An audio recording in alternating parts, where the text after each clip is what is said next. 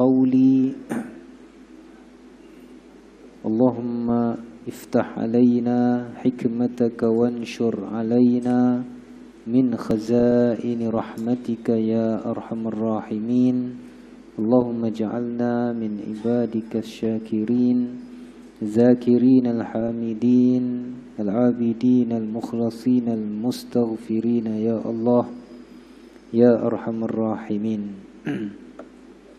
Alhamdulillah syukur pada Allah Subhanahu Wa Taala kerana diberikan kelapangan pada kita pada malam ini. Mudah-mudahan Allah Subhanahu Wa Taala kurniakan juga bagi kita segala kebaikan, kerahmatan, keberkatan di dunia dan juga di akhirat sul bil bil lagi. Kita sambung perbahasan kita daripada hadis 40 oleh Imam An-Nawawi rahimahullahu taala yang mana Imam Nawawi himpunkan bagi kita 42 buah hadis kalau kita faham 42 buah hadis ini mudah-mudahan kita faham agama kita dengan baik. Hadis yang ke-38 An Abi Hurairah radhiyallahu anhu qala Qala Rasulullah sallallahu alaihi wasallam Inna Allah Ta'ala qala Hadis daripada Abi Hurairah radhiyallahu anhu beliau berkata Rasulullah sallallahu alaihi wasallam bersabda sesungguhnya Allah Subhanahu wa taala telah berfirman. Jadi hadis ni hadis hadis qudsi. Allah kata man ada li waliyan faqad azantuhu bil harbi Barang siapa yang memusuhi seorang daripada wali aku maka sesungguhnya aku telah izinkan baginya perang. Ini rangkap apa ni ayat yang pertama daripada hadis ini dan secara asasnya hadis ni nak bincang tentang tentang maudhu' kewalian jadi Allah Subhanahu Wa Taala sebut kepada kita barang siapa yang dia memusuhi wali aku maka sesungguhnya aku telah isytihar perang ke atasnya. Yang pertama-tamanya dalam ungkapan ini maka kita lihat uh, hadis ini mensabitkan kewalian dan juga adanya wali.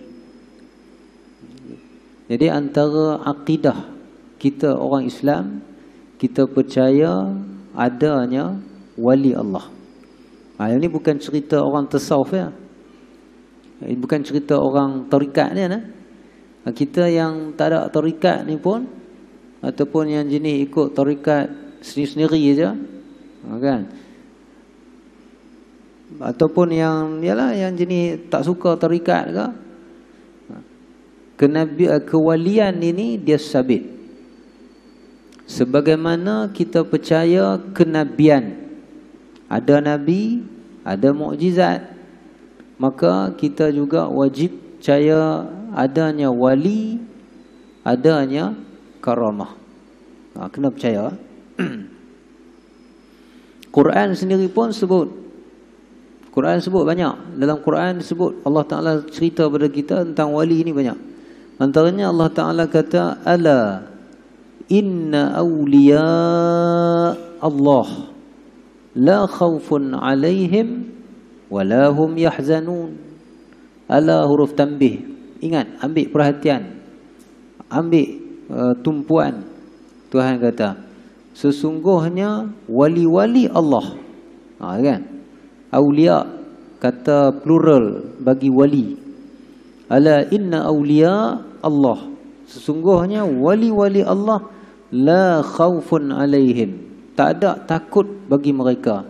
Dan tiadalah mereka itu bersedih atas perkara-perkara dunia berbanding akan perkara akhirat.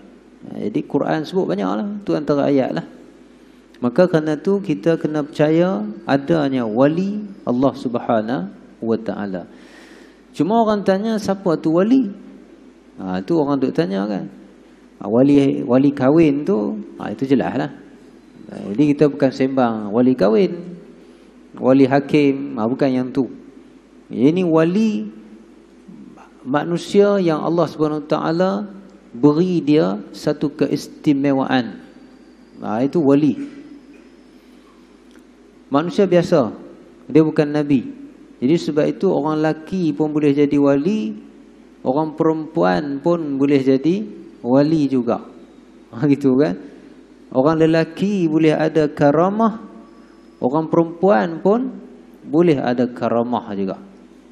Ha, siap silap isteri kita pun wali juga. Ha, mana tahu? Kan? Saya silap dua-dua orang wali. Suami isteri wali. Boleh jadi? Jadi siapa wali ni? Setengah setengah setengah ulama dia kata kadang-kadang wali tu dia sendiri pun tak tahu dia tu wali. Ha, tu pun boleh jadi. Ha? Dia wali tapi dia pun tak tahu dia tu wali Allah. Maka kalau nak nak kalau kita nak tahu siapa wali ni kita ambil yang paling paling apa ni yang paling saya rasa paling baguslah eh dia punya definisi ataupun takrif bagi wali yang Ibnu Hajar Al-Asqalani disebut dalam Fathul Bari dia kata wali Allah ini adalah manusia yang dia arif billah. Dia kenal Allah. Kenal Allah eh? tamam. Makna ni bab akidah. Dikenal Allah. Yang kedua muwazabah ala ta'ah. Dia berterusan mentaati Allah Subhanahu taala. Nombor dua. Itu bab syariat ataupun fiqh makna semayang dia semayang. Uh, puasa dia puasa terusan. Zakat dia zakat. Sedekah dia sedekah. Haji dia haji. Ha gitu kan yang ketiga Ibnu Hajar kata al mukhlis fi ibadatih. Yang dia itu ikhlas dalam ibadatnya. Ini bab ilmu tasawuf. Jadi gabung tiga. Akidah dia kenal Allah. Syariat fiqh dia dia taat kepada Allah Taala. Jadi tuan-tuan eh, kalau orang tu kata dia wali Allah, pergi sembahyang Jumaat pun tak. Ada hal tu. Tipu pula tu. Dia macam-macam lah. Macam-macam. Sebab pun tak semayang. Tak semayang pun ada. Tapi wali Allah. Sebab pun tak semayang. Oh, saya tak semayang sebab hati saya tak bersih lagi. Macam-macam kan. Saya tak semayang bukan apa tak nak semayang. Saya tak nak semayang sebab takut jadi kena kena apa ni? Kena kena sumpah dengan Allah. Wailul lil musallin. Wailul lil musallin dia kata. Jadi hmm, daripada kena sumpah biasa saya tak semayang. Padahal dia lupa kalau tak semayang terus kafir. Al-farqu bainana wa bainahumus salah faman tarakaha faqad kafar beza antara kita dengan mereka kita orang Islam dengan orang kafir semayang kalau barang siapa dia tinggalkan semayang maka dia telah kafir tapi ada ya di Ipoh ni ramai juga nak kata wallah alam jumlah kita tak tahu tapi ramai hak jenis tak mau semayang hak jenis apa eh, tak mau tak mau buat amal Tanya sebab apa? Kami semayang pakai hati ya. Oh, lah tu semayang pakai hati. Semayang pakai hati, makan nak sedap. Cuma makan pakai hati kau boleh? Semayang nak pakai hati. Masuk ha, dia makan pun pakai pakai hati juga. Tadi kan? Sebab tu sebab tu Ibn Hajar disebut jelas. Al-muwazabah ala ta'ah mana dia berterusan taat. Dia sudut fiqah dia selesai. Lepas tu setengah-setengah Tok Guru tersawuf. Kan mereka ni kalau hak jenis tarikat ni kadang-kadang mereka kena kena keluat. Kadang keluat ni sampai 40 hari. Keluat ni. Mana duduk duduk berasingan. Asalnya duduk berasingan lah. Tapi kerana murid dah ramai sangat, maka dia buatlah kelambu. Duduk dalam bilik besar, dia buat kelambu, kelambu, kelambu, kelambu. Ha, gitu. Tujuan kelambu tu apa? Tujuan kelambu nak beri rasa berasing daripada orang. Ha, tu dia lah. Jadi dia tak boleh keluar selama kadang-kadang sampai 40 hari. Duduk situ lah. Duduk dalam tu berzikir, keluar makan. Masuk balik, semayang. Selagi boleh semayang di situ. Maka Jumaat pun dia tak keluar. Jadi kalau tok-tok guru yang jenis betul-betul jaga, macam mana cara dia buat? Dia akan buat khalwat dengan anak murid dia di tempat yang jauh daripada daripada rumah dia. Makna demo ni jatuh jatuh musafir. Ha, itu keadaan dia. Dia jatuh musafir, jatuh musafir, maka ha, bolehlah dia tu tinggal Jumaat. Contoh kan, contoh ada, memang ada di Malaysia pun ada. Ha, saya kenal lah, dua tiga orang dah ada kenal lah kan yang buat macam tu. Tapi dia jagalah. Hmm. Maka kerana itu muazab, muazabah dia dia berterusan mentaati Allah Subhanahu taala. Yang ketiga, ikhlas dalam dalam ibadat dia. Ini tiga perkara. Jadi tiga perkara ni kita boleh tak dapat? Kita sebagai manusia biasa boleh dapat tak? boleh dapat. Kerana itu kalau orang tanya kewalian ini boleh diusahakan ataupun tidak, boleh usaha. Kita boleh usaha. Dia tak macam kenabian. Kenabian memang tarak can dah. Kalau dia mengaku saya nabi, ah ha, tu habis lah tu. Saya nabi je lokap. Sepatutnya kan. Tapi kewalian dia boleh usaha. Dapat tak dapat Allah punya cerita lah Terserah kepada Allah subhanahu ta'ala Kerana dia anugerah Daripada Allah subhanahu wa ta'ala Maka hadis ni jelas eh, Wali dia. Mana dia ada tiga perkara ni ah, Kemudian dia dapat anugerah. Allah ta'ala nak beri kepada dia Jadi wali. Maka dia pun jadilah wali Allah subhanahu ta'ala. Kalau tengok perbincangan orang tasawuf Wali-wali ni pula dia ada derjat-derjat dia. Dia ada wali kutub. Itu semua ada hadis eh. Ada hadis belaka. Cuma hadis yang yang tak berapa masyhur. Dia ada abdal badal badal. Ganti. Setiap kali mati seorang wali ni akan ganti seorang lain. Nama dia wali abdal. Kemudian dia ada nujaba.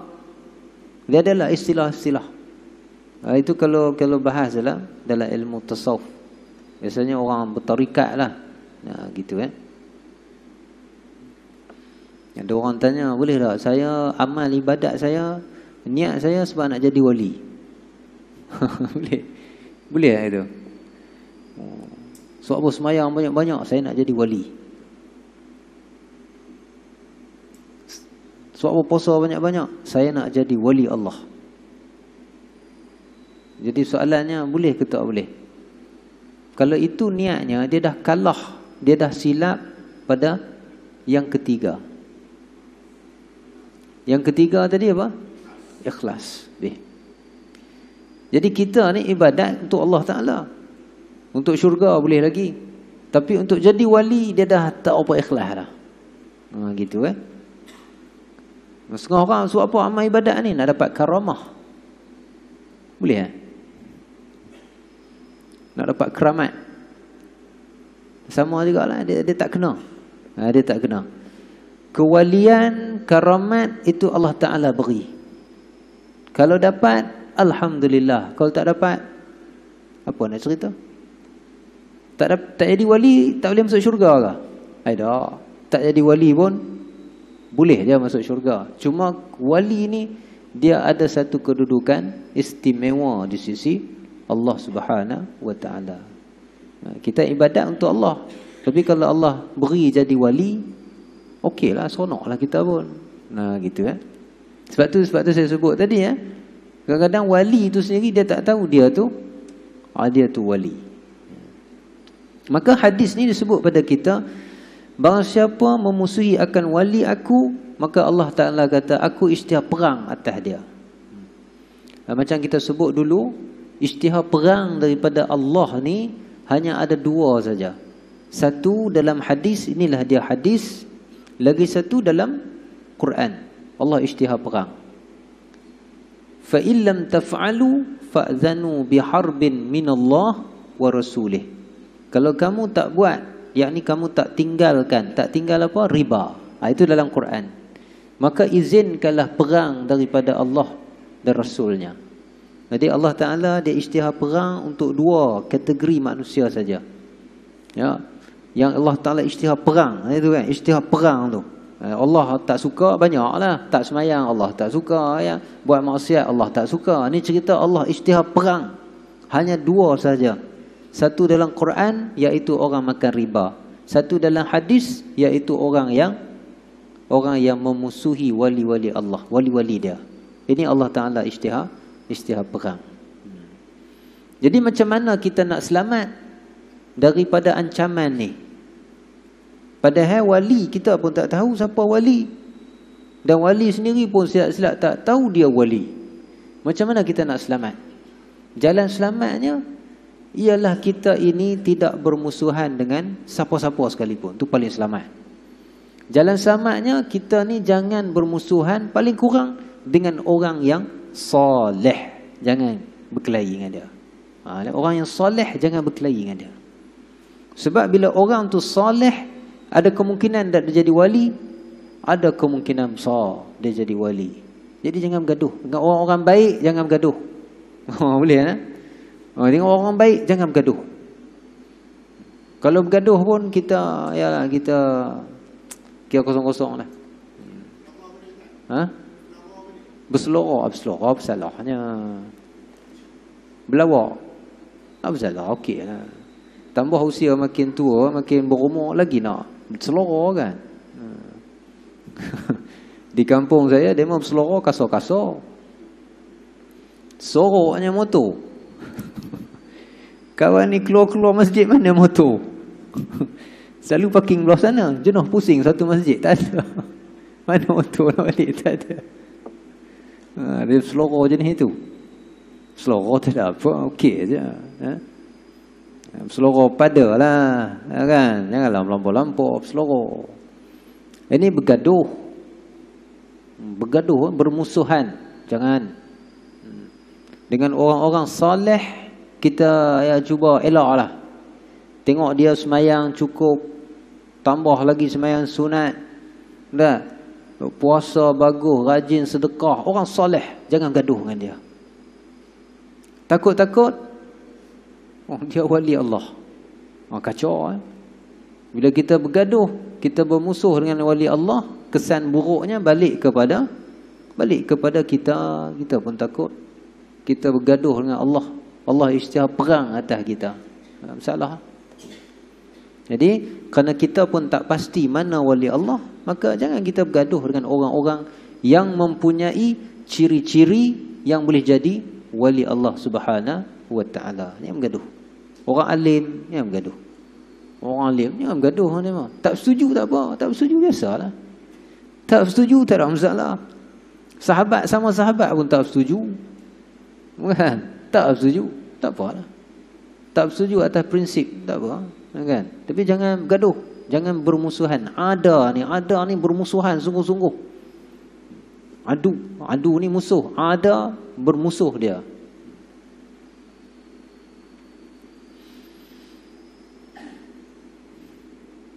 Mana kalimah ada ni musuh tu jadi musuh teruk. Ha gitu eh. Musuh berat. Musuh ni sehingga hak kawan nu pun marah juga ke dia. Ha gitu kan.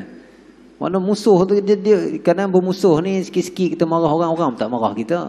Ini musuh maknanya teruk sangat. Kan kita musuh dengan dia, dia pun rasa bermusuh dengan kita. Ha, tu bahaya. Khilaf sikit-sikit tu biasa. Mesyuarat berbeza tu biasa ha, gitu kan?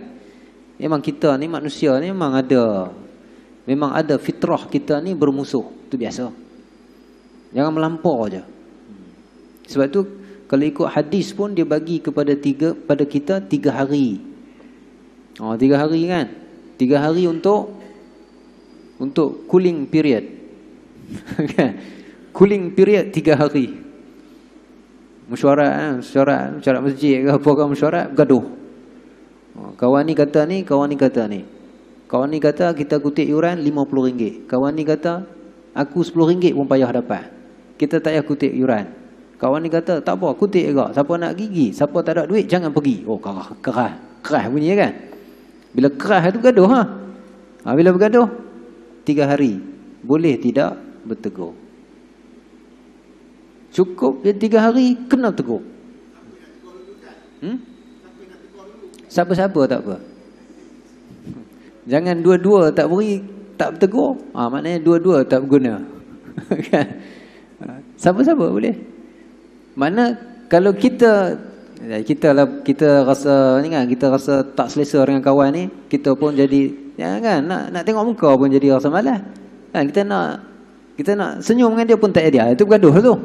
Selalu boleh lah senyum. Tapi lepas mesyuarat hari tu dah tak ada senyum lah. Ha, itu gaduh lah tu. Tiga hari. Macam mana nak lerai selepas tiga hari ni? Bagi salam. Bila bagi sahaja salam, maka terlerai lah yang tiga hari tadi ni. Maknanya dikira sudah menyambung silaturrahim. Kita yang bagi salam selesai. Kawan ni dia marah lagi kat kita. Dia tak mau jawab salam juga. Ha, itu dia punya pasal. Eh. Itu tak ada kaitan kita lah. Ha, dia yang tanggung. Kita selesai lah. Bila kita bagi saya salam, selesai. Tiga hari ya. Tiga hari.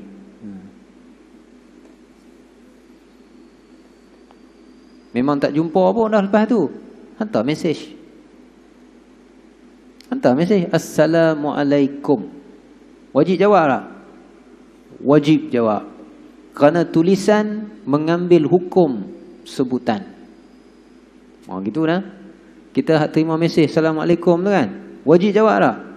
Wajib jawab Kerana Imam Nawawi kata Hukum tulisan mengambil sama hukum sebutan Kerana itu semua adalah Innamal kalam lafil fuad Cakap ni sebenarnya dalam hati Wa innama ju'ila lisan alal fuadi dalila Dan dijadikan Maka sesungguhnya dijadikan lidah itu bagi hati sebagai tanda. Ha gitu orang Arab kata kan. Jadi bila kita tulis itu tanda yang ada dalam hati kita. Ha bila kita terima tanda orang beri salam kat kita, maka kita pun kena kena jawab. Ha, selesailah. Hmm. Jadi kalau berkelahi macam mana suami isteri ke tiga hari. Ha lebih tiga hari ya. Suami isteri pun lagilah bergaduh kan. ha, dah sampai usia Dah lebih-lebih ni tak ada lah kot kan. Tapi umur alam 30, 40 tu, ay, bukan lebih orang tu. Ha? Ha, jadi kalau tak bertegur, tiga hari. Macam mana nak lerai yang tiga hari tu, maknanya sambung balik, paling kurang beri salam. Zaman sekarang teknologi cukup bagus, komunikasi. Maka bagi salam melalui handphone. Selesai. Bak kita selesai. Dia yang tak jawab, itu salah dia. Dia berjawab esok dengan Allah Subhanahu wa taala. Kemudian Allah Subhanahu wa taala sebut kepada kita wa ma taqarraba ilayya 'abdi bi syai'in ahabba ilayya mimma aftaratuhu alaih. Ini Allah Taala nak cerita pada kita perjalanan nak jadi wali. Perjalanan nak jadi wali. Tak kira lah kita ambil tarikat ke tak ambil tarikat. Kita bertasawuf ke tak bertasawuf. Tapi ini perjalanan nak jadi wali Allah Subhanahu taala dan kita pun kenalah usaha kerana ni ni juga jalan bagi orang-orang biasa untuk menjadi orang soleh. Maka Allah Taala kata tiadalah seorang hamba-Ku itu mendekatkan dirinya kepada aku dengan sesuatu yang lebih aku sukai daripada apa yang telah aku fardukan ke atasnya. Maknanya hak paling Allah Taala nak fardu. Ni jalan dia. Kalau nak jadi wali, step pertama fardu selesai. Fardu, mana fardu yang mesti. Hmm. Jadi kat sini dua benda kena ingat. Yang pertama fardu jangan ingat hanya fardu dalam bab ibadat sahaja. Kena ingat ni ya. Kadang orang nak sebut fardu, ha, fardu semayang. Lepas tu fardu puasa. Lepas tu fardu fardu zakat. Lepas tu fardu haji. Habis. Ulang balik kita. tak lah. Fardu dalam bab ibadat, ya ibadat. Ya, ya mesti, mesti buat, kena. Kena sangat. Itu asas dalam Islam. Tapi jangan lupa fardu dalam bab akidah, kena. Fardu dalam bab akidah banyak. Kena kenal Allah fardu. Kena belajar untuk kenal Allah fardu. Jangan lupa fardu dalam bab fiqah banyak. Fardu dalam bab Eh, dalam bab jual beli banyak. Fardu dalam bab jual beli bila kita berjual beli dalam bab muamalat lah muamalat. Bila kita berjual beli maka kena ada talafuz kena ada akad. Jangan lupa. Jangan lupa kita sewa rumah kepada orang. Ada fardu tak kat situ? Ada tak fardu dah? Kita sewa rumah ke orang ada fardu ada apa fardunya mesti akad jangan lupa Banyaklah fardu ni kena mengaji lah ini. Ini semua kena mengaji. Fardu dalam bab hubungan kekeluargaan. Ada tak? Ada. Kita suami fardu atas kita bagi bagi nafkah kepada suami kepada isteri. Seorang isteri fardu atas dia untuk taat kepada suami. Jangan lupa tu lah.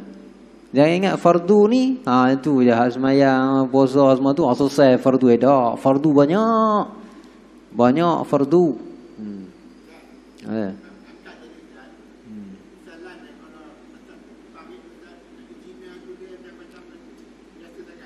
Hmm. Ha.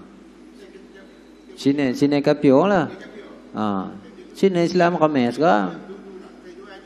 Ha, tak apa kita pun nyok lah saya beli. Jangan dia kata beli kita kata jual pula. kita yang membeli kita kata jual tak mau lah. Eh tak apalah dia nak bagi. Okey aja. Tak ada masalah. Mana dia berakad dengan kita. Okey memang kena pun. Hmm, tak ada okey, tak ada masalah. Jadi jangan lupa ya fardu ni banyak. Jangan duk ingat yang yang yang tu aja. Fardu dalam kenegaraan ada tak? Eh ada lah. Itu antara fardu yang terawal. Jangan lupa.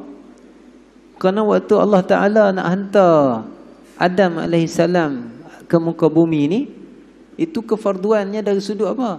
Dari sudut kenegaraan. Ja'ilun fil ardi khalifah. Aku menjadikan atas muka bumi ini khalifah. Khalifah, khalifah lah. Governance. Ha? Kenegaraan. Fardu. Tengoklah tak mana kita nak menyempurnakan fardu-fardu ni. Hmm, jadi, itu eh, perkara. Eh. Maknanya yang fardu itu itu langkah pertama dan jangan lupa fardu banyak satu. Yang kedua juga berkaitan dengan fardu ini jangan lupa kadang-kadang kita dah ingat fardu ni yang kena saja buat. Yang larangan tak masuk fardu. Ada. Larangan masuk fardu juga. Nah, maknanya fardu fardu tinggal. Banyak agak kan? Banyaklah setengah kita buatlah, banyakkan kita buatlah alhamdulillah. Waktu semayang. Waktu semayang fardu semayang. Waktu semayang kefarduan meninggalkan makan. Kefarduannya meninggalkan bercakap. Kefarduan juga sebenarnya meninggalkan fikir benda-benda lain. Hmm, jangan lupa tu. Jadi jangan lupa bila sebut fardu, fardu ni banyak. Dalam semua aspek ada fardu. Kemudian bila sebut fardu dalam hadis ini, ia juga mencakupi perkara-perkara yang dituntut untuk tinggal. Riba kena tinggal. Ha. Tipu kena tinggal. Resyuah kena tinggal. Khianat kena tinggal. Ini semua semua fardu belaka. Ha, gitu eh. Jadi ini langkah pertama. Ha, itu sebab tu kena kenalah kita mari duduk mengaji. Alhamdulillah lah. Lama-lama kita tahulah. Banyak fardu ni kan. Bila kita mari mengaji, so boleh lah berjawab dengan malaikat. Ha, kenapa kamu tak buat fardu yang ni? Hmm, saya tengah belajar. Ha, itu selamat. Guru saya duk ajar macam tu. Ha, dia kata, kamu sampai ketua, kamu kena belajar. Jadi esok, waktu malaikat tanya, kamu jawab, aku tengah belajar. Betul lah. Kenapa tak buat ni? Kenapa tak buat ni? Kenapa tak tinggal yang ni? Ni semua kena, kena, kena, kena. Kita kata, aku tengah belajar. Aku tahu tapi tak apa nak tahu lagi.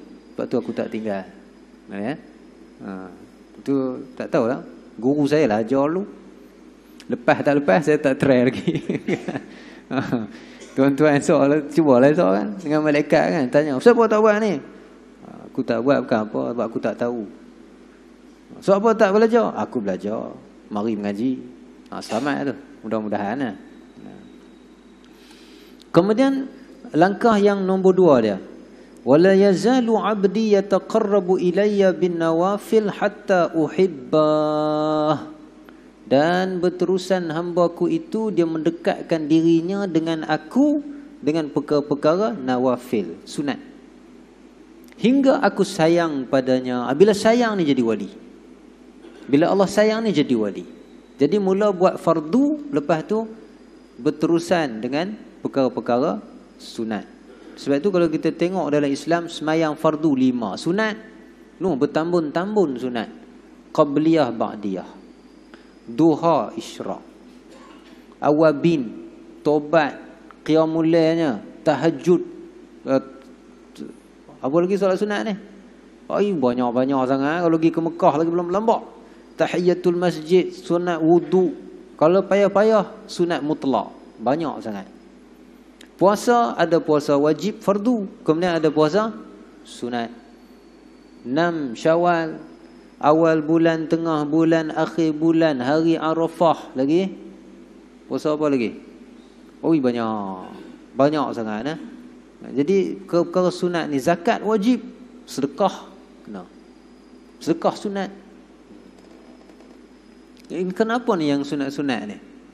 Wallahu a'lam antaranya lah Antaranya yang sunat-sunat ini untuk tampung yang fardu. Macam semayang tak? Semayang. Wa innaha lakabiratun illa 'alal khashiin. Letih semayang ni. Memang Quran sebut. Sesungguhnya ia berat. Hmm. Berat semayang ni. Semayang fardu ni berat. Sebab tu habis je terus balik. habis je tak mahu semayang dua rekan. balik lah tak lerah. Kan buka TV pun ringan sikit. Sebab apa berat semayang ni? Sebab apa berat semayang ni? Sebab kita beratkan dia dengan dunia. Dia nature dia macam tu. Perkara dunia kalau kita masuk akhirat dia jadi tak syok. Kan tengah main apa tu tengah pergi apa tengah naik apa nama map ni tutup lah kan? Tutup sementara katanya. Ha, kan? Tengah naik map tu sambil berzikir. Lah ilah tak jadi. Tak jadi. Kan? Kan? Dia tengah naik hak musim tu hak musim kan? Musim. Tuan-tuan tak naik dah lah kan? Tengok anak-anak dia naik kan? Hak musim musim kan? Oh dia bunyi jerit seronok. Jerit seronok. Takut dia seronok. Dan sambil seronok tu berzikir. Tak jadi. Maka perkara akhirat kalau dimasuk dunia tu yang diberat Tengah semayang tu kan. Ada ingat macam-macam makan ingat macam-macam mari. Itu yang jadi berat. Jadi macam mana nak beri semayang teringan? Buang habis dunia. Waktu semayang, buang habis dunia. Dia mari, tolak. Dia mari, tendang. Dia mari, tolak, keluar. Mudah-mudahan ringan semayang. Tapi orang kata kan, payah. Memang payah lah. Memang payah lah kan. Tangkat takbir tu, macam-macam nak mari kunci pun ingat balik. kunci hak lupa ingat kat mana duduk kan. Jadi wallahu a'lam lah kan. Sebab berat kita nak buang dia waktu kita semayang, waktu kita berada dalam situasi keduniaan, kita banyakkan keakhiratan. Jadi mudah-mudahan nanti bila kita berada pada situasi keakhiratan, senang kita buang hak dunia ni. Seolah kita imbang waktu kita kita di luar semayang. Allah alam. Banyak cara lah ulama sembang. Tapi itu antara cara kita tengok. Maka suka sila.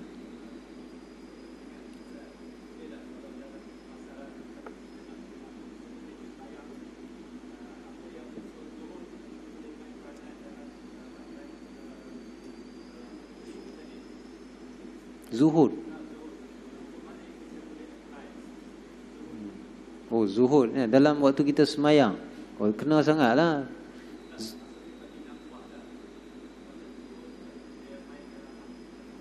Ha. Dia dia mudah je waktu semayang ni mari je dunia tolak ke tepi. Dia ingat je dunia tolak. Kita semayang ni dengan siapa? Allah, Allah aja kita. Dengan Allah saja. Zuhud pentinglah. Dengan zuhud tu kita akan mampu semayang tu untuk ingat Allah saja. Dalam amalan harian kita zuhud. Maknanya tak letak dunia dalam hati kita. Bukan tak kaya. zuhud ni bukan tak kaya. Zuhud boleh kaya. Tapi kaya tu tak ada dalam hati. Ha, tu kan? Jadi mudahlah kita nak semayang. Jadi bila kita semayang ni, apa saja benda hak dunia mari, tolak ke tepi. Dia mari. Percayalah tuan-tuan. Cuba cuba sekali kan. Cuba betul-betul nak khusyuk semayang.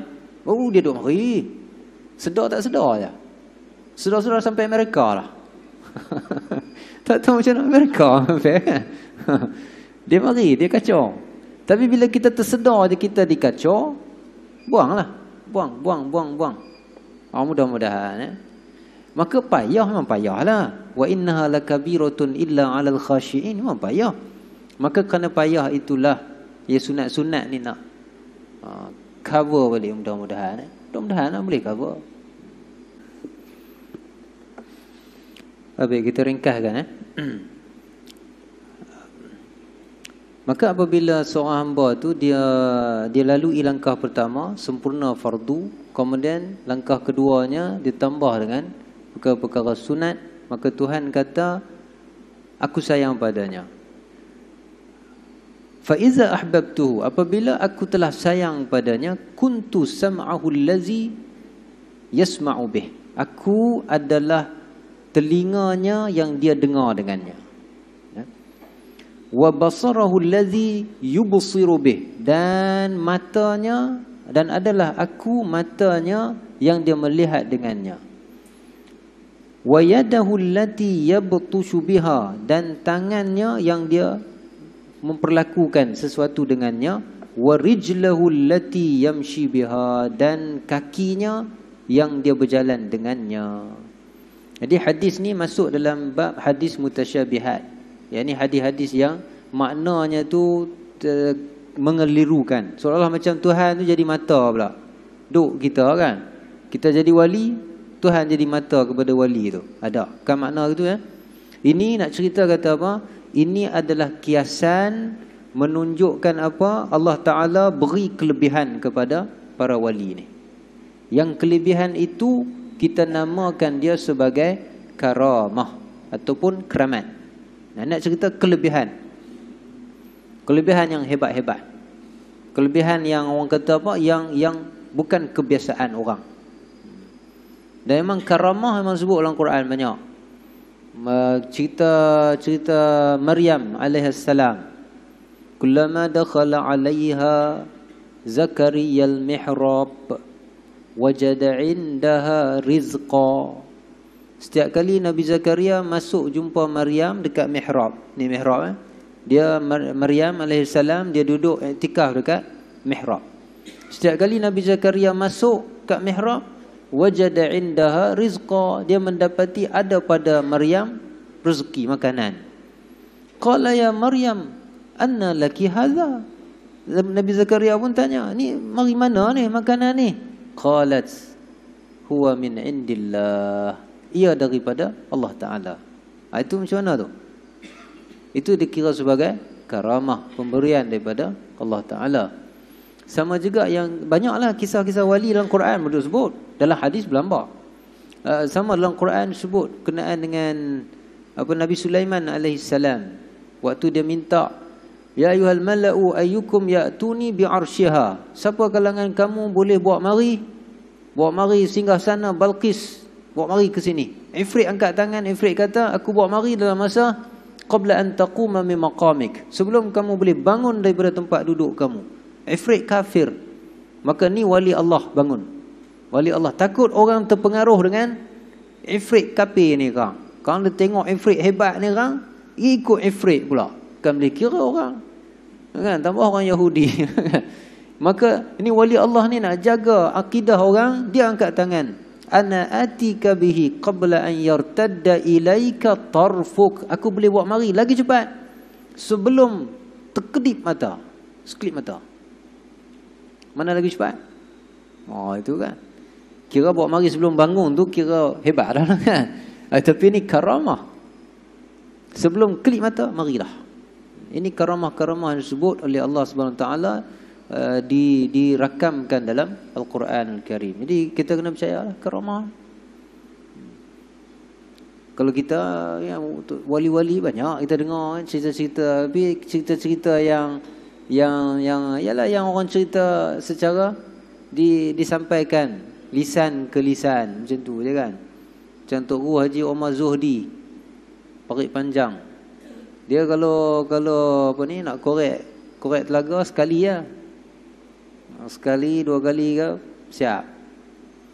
Nak buat kerja tanah ni kan sekali dua kali ketuk siap. Nah gitu orang biasa makan masa. Maka Allah Taala beri kepada mereka ni kelebihan-kelebihan. Itu maksud daripada daripada hadis ni. Nah, itu pengertian dia. Kemudian akhir sekali Nabi Allah Taala firman wala in sa'alani la u'tiyannah. Kiranya dia minta daripada aku pasti aku beri. Ha, ini kelebihan para wali yang antara kelebihan yang besar kepada para wali iaitu kalau dia minta Allah beri kepada dia. Wala in ista'azani la u'izannah. Kalau dia minta berlindung dengan aku nescaya aku lindungkan dia jadi ini disebut antaranya karamah yang nampak.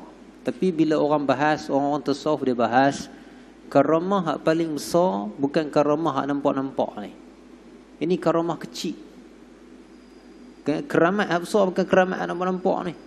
Keramat yang boleh jalan jauh, keramat yang kata sana ada jumpa juga di sini. Itu kan? Itu semua keramat kecil-kecil. Keramat yang besar apa dia?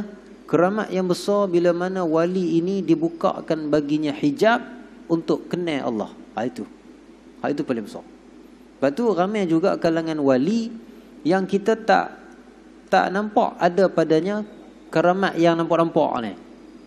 Ha, macam tadi ni kan boleh bawa mari barang daripada jauh, boleh raib ke sini timbul di sana. Itu keramat kecil belaka. Keramat yang besar apabila Allah Taala buka buka hijab. Macam uh, last eh, akhir sebelum habis. Macam contohnya apa? Uwais Al-Qarni. Uwais Al-Qarni. Baca tengok sejarah Uwais Al-Qarni. Eh. Antara wali Allah, sepakat ulama kata dia wali Allah. Sepakat. Hidup sezaman dengan Nabi tapi tak berjumpa Nabi. Ha, hidup sezaman dengan Nabi SAW tapi tak berjumpa Nabi. Nabi pesan kat Sayyidina Umar, wahai Umar nanti kamu akan kalau ada ni ada kelapangan kamu pergi jumpa ni dengan Uwais Al-Qarni. Oh hebat dia. Dia tak ada cerita benda-benda yang pelik-pelik tak ada. Dia tak ada tak ada tak ada sebut. Tapi kelebihan dia Allah alam Allah Taala beri kepadanya karamah yang besar. Iaitu Allah Taala buka hijab antara dia dengan dia dengan hamba-Nya ni. Baca tengok Uwais Al-Qarni ya. Oh, hebat eh? tapi dia dapat makam tinggi itu sebab apa? Dia duduk dekat belah-belah Yaman. Tapi dia tak mari jumpa Nabi. Kalau kita lah kan, Nabi ada agak-agak pergi tak? Pergi lah kan. Tapi dia tak pergi. Sebab apa dia tak pergi? Dia tak pergi alasannya aku jaga mak aku. Eh. Dia khidmat kepada mak dia. So, fadilat tu. Eh? Sebab apa dia tak pergi ke, tak pergi ke Madinah, tak hijrah ke Madinah? Kerana kerana dia tengok mak dia. Itu fadilat besar. So. Ha, itu pun kefarduan juga jangan lupa. Ha, itu kefarduan eh. jaga orang tua. Malah kefarduan untuk menghormati orang tua ni sehinggalah kita sehingga dia dah tak ada pun masih juga sebagaimana kita hidup selagi itu ada. Ha, kefarduannya. Sebab tu Quran kan Quran tengok bab ni kan hormat mak ayah ni Quran pakai kias. Macam tadi ni kiasan ni kan. Tuhan jadi macam mata Tuhan bila nak cerita supaya hormat mak ayah, Tuhan pakai kiasan. Hak cukup. Cukup kuat. Tuhan kata wakhfid lahumma janahazulli minar rahmah. Hendaklah kamu tundukkan janahazulli. Janah ni sayap. Ada siapa ada sayap? Tak ada. Tapi Quran nak cerita supaya betul-betul hormat mak ayah ni, dia dia jadikan kita ni macam ada macam ada sayap maknanya tunduk tu sekali sayap-sayap semua tunduk sekali kan ha, pernah tengok cerita yang cerita-cerita yang yalah cerita-cerita fairy tale apa semua ni kan orang sayap bila dia hormat tu sekali sayap-sayap turun tu kan ha, gitu dah. Itu maknanya nak cerita sehabis-habis sehabis-habis hormat. Biasa Quran macam itulah dia nak cerita nak nak cerita betul-betul dia akan guna kiasan. Macam inilah nak cerita kata wali-wali Allah ni dapat kelebihan yang hebat-hebat dia gunakan gaya bahasa gaya bahasa kiasan metafora. Nak beri dia lebih rasa dalam dalam hati kita. Jadi masuk isyak dah kita berhenti sekadar tu dulu. Oh ya ada soal sila sila sila.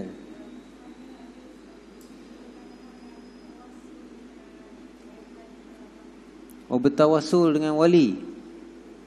Ceritanya bertawasul dengan wali. Boleh ke tak boleh? Ha, kita mazhab ahli sunnah wal jamaah kita terima bertawasul dengan hamba Allah yang salih. Boleh. Seperti mana bertawasul dengan Ibni Abbas. Dia zaman Nabi SAW dulu. Boleh bertawasul. Cuma kena kejap akidah lah. Bila kita bertawasul, aku bertawasul dengan Syekh Abdul Qadir Jailani. Ah, bukannya Syekh Abdul Qadir Jailani yang akan beri bekas, beri kesan, memberi manfaat ataupun mudarat. Ha, beri manfaat mudarat Allah Subhanahu Taala. Hanya saja kerana ya, hamba-hamba Allah yang saleh ini, wali ini dia ada kelebihan di sisi Allah. Maka kita macam menggunakan kelebihan dia untuk kita dapat sesuatu di sisi Allah Taala. Ya, kita mazhab kita ahli sunnah jamaah kita terima bertawasul boleh, tetapi dalam keadaan kejap akidah kita. Yang memberi mudarat, yang memberi manfaat adalah Allah Subhanahu wa taala jua. Eh? Wallahu a'lam. Bismillahirrahmanirrahim. Allahumma zidna ilma ya Allah warzuqna al-amal bihi. Rabbana hab lana min azwajina wa dhurriyyatina qurrata a'yunin waj'alna lil muttaqina imama. ربنا آتنا في الدنيا حسنة وفي الآخرة حسنة وقنا عذاب النار وصلى الله على سيدنا وحبيبنا مولانا محمد والحمد لله رب العالمين تقبل الله منكم